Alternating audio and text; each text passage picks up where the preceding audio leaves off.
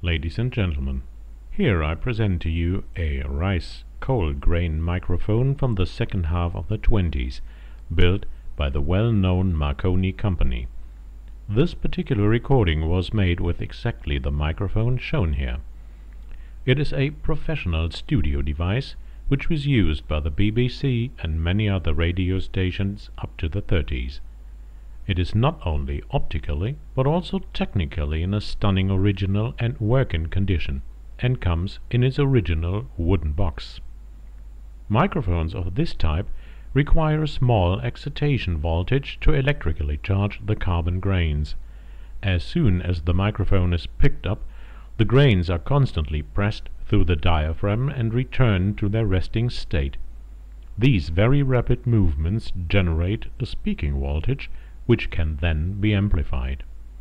The microphone C here works with a voltage of 6 volts from a battery, which is supplied over a series connected resistor of 350 ohms. From this circuit a capacitor is coupled to a small battery-powered preamplifier for magnetic turntable systems, which finally runs directly to the computer's sound card.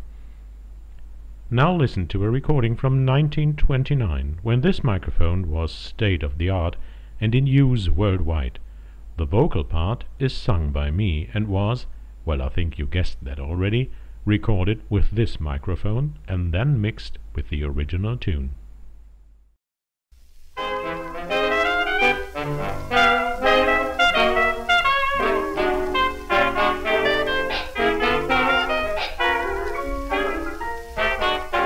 I'm riding high, cause I've got a feeling I'm falling, falling for nobody else but you.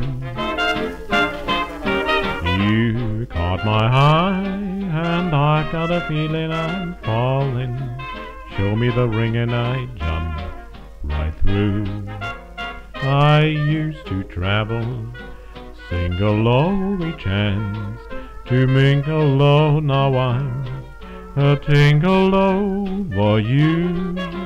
Oh, Mr. Parson, stand by, cause I've got a feeling I'm falling, falling for nobody else but you.